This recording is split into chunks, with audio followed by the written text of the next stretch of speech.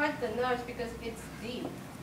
And when you cut the nerves, you land up with dry eyes because the, the corneal nerves are what is producing, helping produce tears.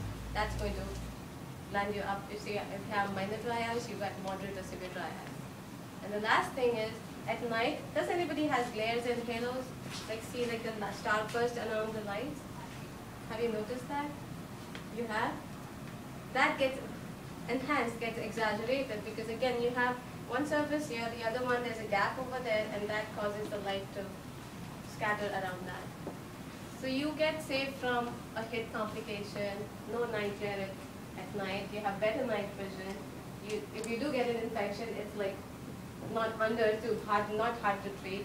I mean, it's hard to treat like that, and then you won't have dry eyes. So taking all these complications, it's like 90% originated by a flap technique, which Dr. Chynn doesn't do. In fact, interesting is he was a LASIK, he got LASIK himself uh, on his eyes done in 99, and he switched to the non-cutting because of the safety to his patients. Dr. Chynn has glare at night.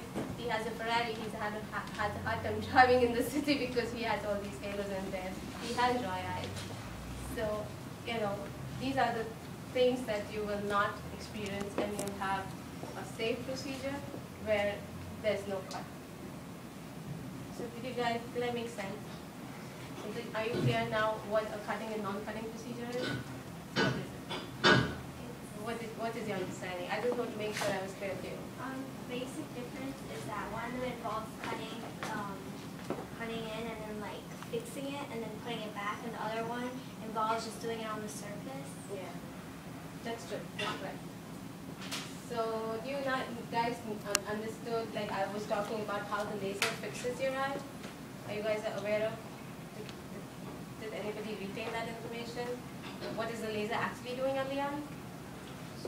It's mapping the prescription on your eye. And the mapping is done on the machine behind, I'm sorry, I forgot your name. The WaveScan, yeah, behind you. That's where the mapping is done. That's done for a custom treatment. It actually maps 50 different spots on the eye, 50 different prescriptions. Like when I did your testing, we took like one prescription, like an average. So that's how clean contacts are made. In a customized high definition treatment, which is equal to seeing like a high def TV compared to a normal TV.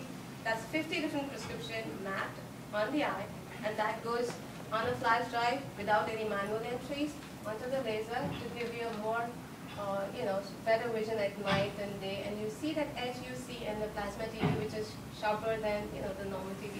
That's kind of a vision where you will get to see better than what you are now in your glasses. With standard treatment, you see just like your glasses. With high definition treatment, you get to, an opportunity to see better than your glasses. So that's what the high definition is. But my question was, how does the laser work? What's the mechanism? Do you understand that? I was like talking in between, no? What laser does is actually you have a surface, we are born with a certain shape, and like in glasses, the glass comes like, you know, your glasses, it comes like a flat plastic, anybody who wears glasses. Now the prescription is round over the glass to give it the shape and the prescription. So what laser is doing exactly the same. It's vaporizing the tissue and changing the surface to give it a new shape by putting that prescription which is measured. So if you had the same prescription that you wear in your glasses on your eye created by laser, would you need glasses?